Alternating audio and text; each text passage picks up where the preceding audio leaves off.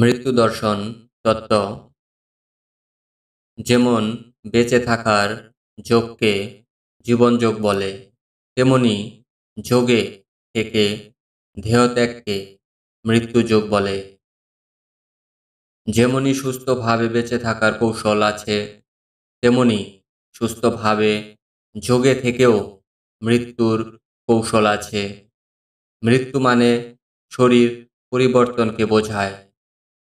সাধারণ স্থূল শরীর ছাড়াকে আমরা মৃত্যু বলি।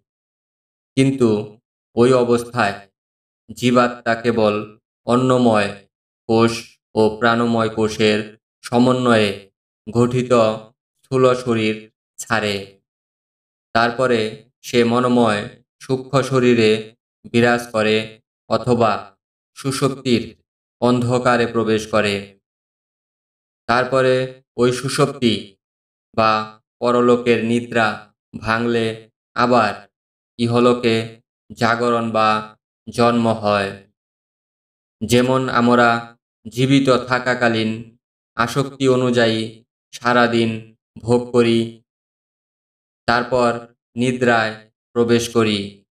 নিদ্রায় প্রবেশ করলে আমাদের অন্নময় ও প্রাণময় কোষের চেতনা অবচেতনে চলে যায়, যাকে মৃত্যুসম বলা যেতে পারে। অর্থাৎ আমরা নিদ্রাকালীন স্থূল শরীর ত্যাগ করি, কিন্তু ওই অবস্থায় আমরা যে স্বপ্নের রাজ্যে বিরাজ করি, তা হলো আমাদের মনোময় শরীর।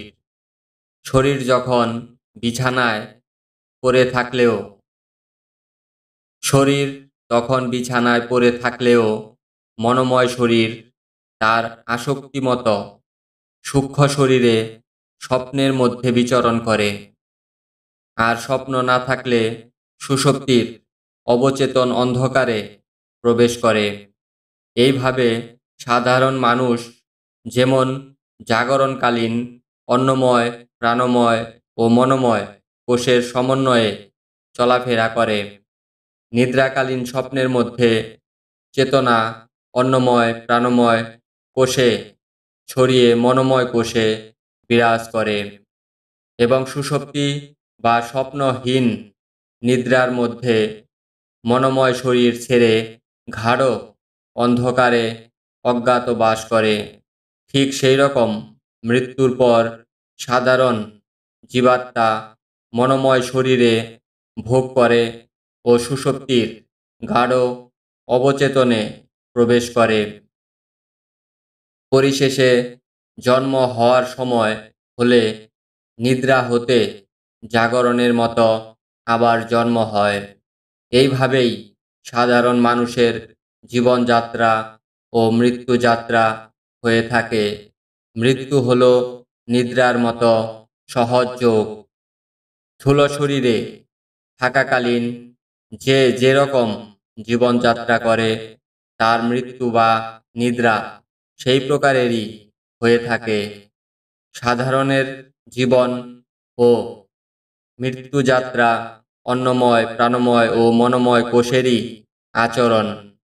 সেই জন্য বেঁচে থাকতে থাকতে উন্নত কোষের মধ্যে উত্তীর্ণ হতে হবে। তাহলে মৃত্যুর পর ওই অবস্থায় বিরাজ হয়।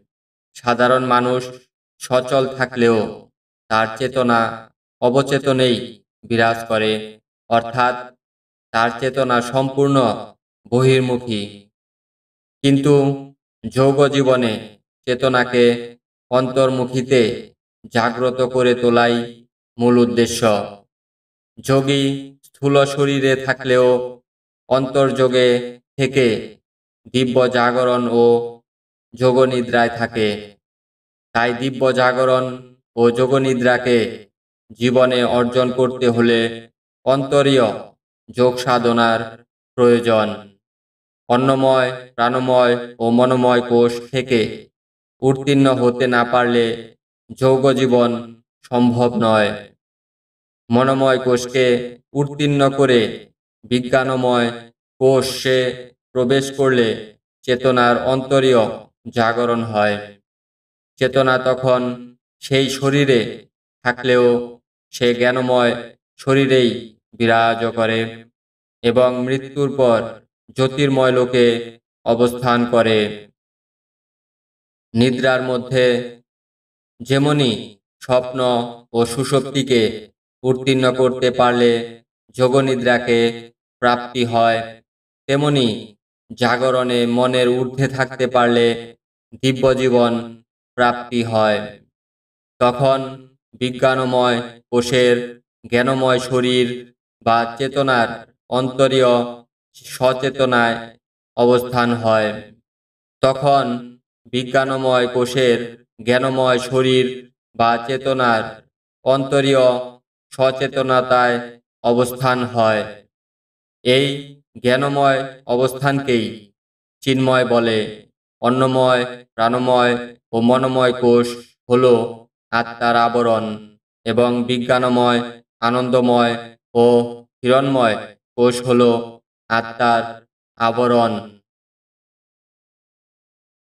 বেঁচে থাকতে থাকতে আনন্দময় কোষে প্রবেশ হলে অন্তরে আনন্দের স্ফুরণ হয় এবং এই আনন্দ কোনো বাহ্য অবলম্বন ছাড়াই স্বতঃস্ফূর্তভাবে শরীরের মধ্যে বইতে থাকে। বেঁচে থাকতে যে এই আনন্দের অধিকারী হয়েছে, সে মৃত্যুর পর আনন্দলোকে প্রবেশ করে। বেঁচে থাকতে থাকতে যাদের ব্যক্তি চেতনা, সমষ্টি চেতনায় প্রবেশ করতে পারে, বেঁচে থাকতে থাকতে যাদের ব্যক্তি চেতনা, সমষ্টি চেতনায় প্রবেশ করতে পারে, তাদের হিরণময় কোষে স্থান হয়। তখন তাদের চেতনা চৈতন্য প্রাপ্ত হয়ে চৈতন্যময় কোষে বা হিরণময় কোষে বিরাজ করে। এইভাবে সাধারণরা যেমন জীবিতকালীন অন্নময়, প্রাণময় ও মনোময় কোষে বিরাজ করে এবং মৃত্যুর পর ওই অবস্থা প্রাপ্ত হয়, তেমনি যোগীরা বেঁচে থাকতে থাকতে বিজ্ঞানময়, আনন্দময় ও হিরণময় কোষে বিরাজ করে ও মৃত্যুর পর ওই অবস্থা বা লোকে অবস্থান হয়। সেই জন্যে ইহলোকেই পরলোক তৈরি করে। তাই ইহলোকের জীবন প্রস্তুতিই হলো পরলোকের গতি। বেঁচে থাকতে যার চেতনা যেখানে বিরাজ করে মৃত্যুর সময় চেতনা ওই স্বভাবকে অবলম্বন করে স্থূল শরীর ছেড়ে সূক্ষ্ম শরীরে বিরাজ করে। বেঁচে থাকতে যে চেতনাকে হৃদয়, কপাল ও মস্তিষ্কে স্থিত করে নিতে পারে, তার ঊর্ধ্বগতি হয় এবং সাধারণদের চেতনা গুজ্জ লিঙ্গ ও নাভিতে বা অবচেতনে বিরাজ করে। সেই জন্যে তারা অন্য বস্ত্র ও বাসস্থান বা আহার, নিদ্রা ও মৈথুন নিয়েই জীবন যন্ত্রণা, ভোগ ও জীবনপাত করে। এর ঊর্ধ্বে উঠার মতো চেতনা এদের থাকে না। তাই জীবন ও মৃত্যু এদের নিম্ন স্তরে হয়ে থাকে। এদের জীবনের জ্বালা যন্ত্রণা কিছুটা কমলে আবার ভুলে গিয়ে মেতে যায়। যারা অন্তকালে ঊর্ধ্বমননে থেকে শরীর ছাড়ে তাদের ঊর্ধ্বলোক প্রাপ্ত হয়। তবে মৃত্যুর সময় ঊর্ধ্বমনন তাদেরই হয়, যারা জীবিতকালীন তা অভ্যাস করে আয়ত্ত করেছে। নতুবা পাখিকে যতই মধুর বলি শেখানো হোক বিড়াল দেখলে মৃত্যু ভয়ে সে মধুর ডাক ভুলে যায়। তাই বেঁচে থাকতে যে যেভাবে স্মরণ, মনন ও জীবনকে ব্যবহার করে মৃত্যুকালীন, সে সেইভাবেই ভাবিত হয়ে শরীর ছাড়ে। তখন তার জীবিতকালীন চিন্তাধারাগুলি মৃত্যুর ধারা তৈরি করে, যারা জীবিতকালীন সাধনার দ্বারা চেতনাকে ঊর্ধ্বে বজায় রেখে জীবন নির্বাহ করতে পারে। একমাত্র তারাই ঊর্ধ্বমননে দেহ ত্যাগ করতে পারে। ত্যাগ আর গ্রহণ জীবনের দুই দিক, যাকে জন্মান্তর বলে। তবে যারা চেতনাকে অন্তরে সচেতন করতে পেরেছে, তাদের যাতায়াত ইচ্ছাধীন হয়। মৃত্যুর পর তাদের আশা তাদেরই ইচ্ছাধীন থাকে, যারা বেঁচে থাকতে আসক্তিময় জীবনে বদ্ধ থাকে, তারাই মৃত্যুকে ভয় পায় ও মৃত্যুর পরে ওই আসক্তিতে ভুগে। আবার আসক্তির টানেই পরাধীন হয়ে অসহায়ভাবে যাতায়াত করে ও দুর্ভোগে। আসক্তির শক্তি তাকে টেনে নামায় ও ভোগায়। মধ্যাকর্ষণ শক্তির মতোই আসক্তি তাকে টেনে অসহায়ভাবে নিচে নামায়, যে এই জীবনে আসক্তি মুক্ত হতে পারে। একমাত্র সেই জীবন ও মৃত্যুতে দিব্যা আনন্দে বিরাজ করে। কোনো অবস্থাতেই সেই আনন্দ তাকে ছাড়ে না। ও সেই আনন্দে তাকে, সেই আনন্দকে ছাড়ে না। এইভাবে সর্ব অবস্থায় তার আনন্দলোকেই বাস হয়। তার চেতনা সকল সময় আনন্দের সাথেই সহবাস করে। সে ইহলোকে যেমনি আনন্দকে নিয়ে ঘর করে, তেমনি পরলোকেও আনন্দকে নিয়ে ঘর করে। যাহারা ইহলোকে অশান্তি নিয়ে ঘর করে তাদের ইহলোক ও পরলোক সবই অশান্তিময় হয়। এইভাবে ইহলোকের প্রতিবিম্বই পরলোক হয়ে আসে। যেমন জাগ্রত স্বভাব বা চিন্তাধারাই স্বপ্নে পরিণত হয়, তেমনি এ জীবনধারাই পরলোক তৈরি করে। তার স্বভাব ছায়ার মতো আত্মার পিছু নেয় ও তাকে আবৃত করে। এই স্থূল জীবনই শেষ কথা নয়। আত্মার সূক্ষাতি সূক্ষ্ম অবস্থান আছে। সেই জন্যে সমস্ত লোককে মহাজ্ঞানীরা সপ্তস্তরে ভাগ করেছেন।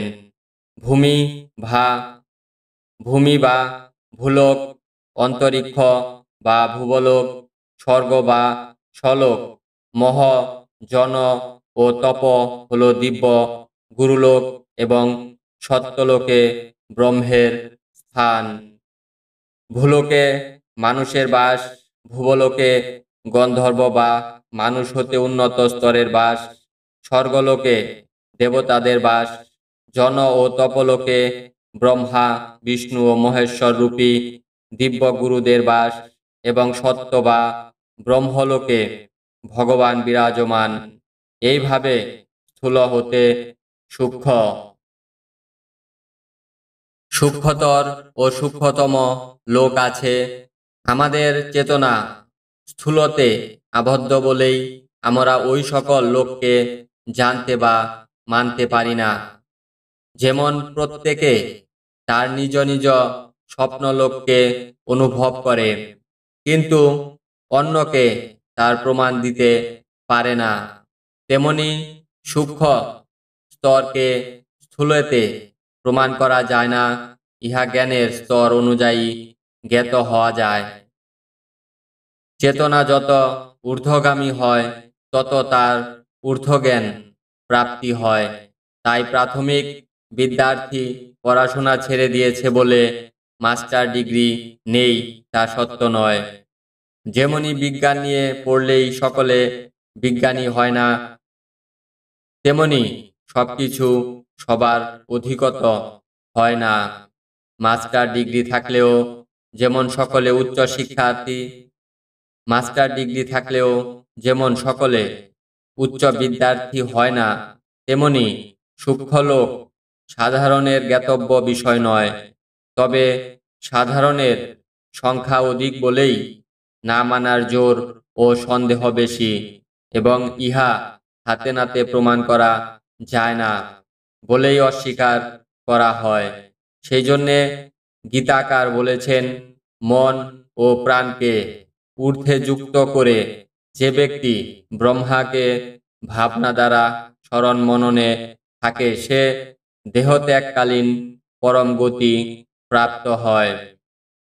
সেখানে ব্রহ্মলোকে সে অনাদিকাল ব্রহ্মানন্দে বিরাজ করে, কারণ এখানকার সহস্র সহস্র যুগে ব্রহ্মার একদিন হয়। তাই এখানকার কাল ও সময় ওখানকার কালের সমনয় এখানে কাল খণ্ড, ওখানে কাল অখণ্ড। তাই ব্রহ্মার এখানে বা ব্রহ্মলোকে একদিন জাগরণ মানে এই লোকে সহস্র সহস্র যুগ বোঝায়। তেমনি নিদ্রা মানেও ওই সহস্র সহস্র যুগকেই বোঝায়। সেই জন্য মৃত্যুর পর জীবাত্মা দুটি গতি প্রাপ্ত হয়, একটি হলো শুক্ল গতি ও অন্যটি হলো কৃষ্ণ গতি। যারা জ্ঞানময়, আনন্দময় ও হিরণময় কোষে অবস্থান করে, তাদের শুক্ল বা জ্যোতির্ময় দিব্য গতি এবং যারা অন্নময়, প্রাণময় ও মনোময় কোষে অবস্থান করে তাদের কৃষ্ণ বা নিম্ন গতি হয়। যারা বেঁচে থাকতে অন্তরে সচেতন বা স্থির হতে পারে, তারাই জ্ঞানময় বা শুক্লগতি প্রাপ্ত হয়। এবং যারা জাগতিক আসক্তিতে বদ্ধ থাকে, তাদের চেতনা অজ্ঞানময় কৃষ্ণগতি প্রাপ্ত হয়। জ্ঞানময় বা শুক্লগতিকে দেবযান বলে এবং অজ্ঞানময় বা কৃষ্ণগতিকে তৃপ্তিযান বলে। অর্থাৎ অর্থাৎ জীবিতকালীন যদি চেতনার চৈতন্য হয়, তবে মৃত্যুর পরে পিতৃলোক ছাড়িয়ে দেবলোক বা ব্রহ্মলোক প্রাপ্তি হয় এবং চৈতন্য না হলে আসক্তিময় চেতনা মৃত্যুর পর পিতৃলোকে অবস্থান করে। বাসনা অনুযায়ী আমরা নিম্নগতি প্রাপ্ত হই। তাই চেতনার ঊর্ধ্বগতিকেই জীবাত্মার উত্তরায়ণ যাত্রা বলে এবং নিম্নগতিকেই দক্ষিণায়ন যাত্রা বলে। উত্তরায়ণ যাত্রার যান হল দেবযান, যা একমাত্র দিব্য জীবনের অধিকারীরাই পেয়ে থাকেন এবং দক্ষিণায়ন যাত্রার যান হল কৃত্তিযান যা বদ্ধজীবেরাই পেয়ে থাকে। এইভাবে জ্ঞানীরা ঊর্ধ্বগতি ও অজ্ঞানীরা অধগতি প্রাপ্ত হয়। জ্ঞানী বলতে তাদেরই বোঝানো হয়, যারা জাগতিক আসক্তি ও প্রতিষ্ঠা হতে মুক্ত হতে পেরেছে। তাই জ্ঞানী সাজা ও জ্ঞানী হওয়া এক নয়। জীবনযাত্রাই প্রত্যক্ষ প্রমাণ মুখের প্রচার নয়। সেই জন্যে ঊর্ধ্বগতি পেতে হলে উন্নত জীবনযাত্রা ও সাধনার প্রয়োজন হয়।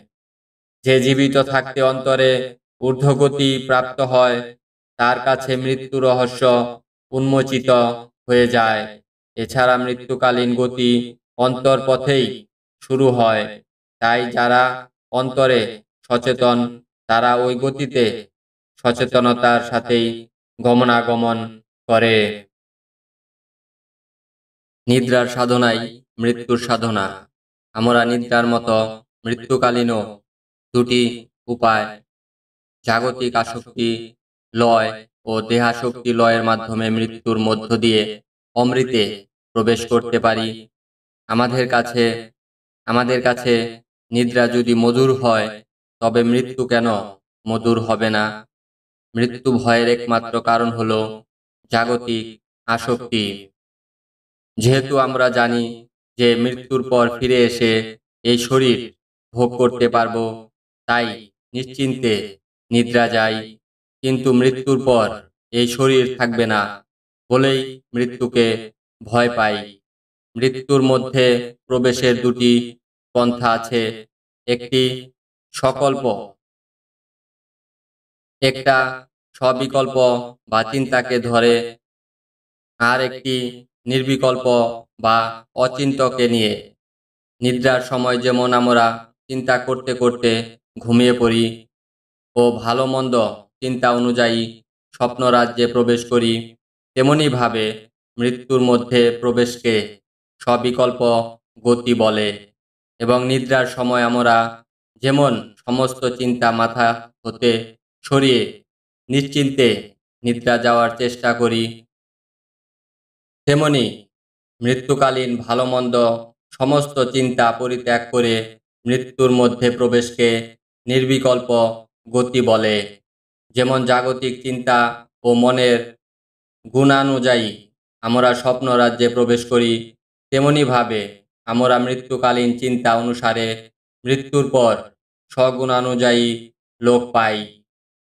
আবার আমরা নিদ্রাকালীন যেমন স্বপ্নহীন সুশক্তিতে প্রবেশ করে একাকার হয়ে যাই, তেমনিভাবে মৃত্যুকালীন নির্বিকল্প, নির্গুণ ব্রহ্মে প্রবেশ করে একাকার হয়ে যাই। অর্থাৎ একটা গতি শুভ কল্পনার মধ্য দিয়ে হয়ে থাকে, যাকে স্ববিকল্প গতি বলে। এবং অন্যটি শুভাশুভ সমস্ত কল্পনা ত্যাগ করে চিন্তা শূন্যের মধ্য দিয়ে চৈতন্যে লীন হওয়া যাকে নির্বিকল্প গতি বলে।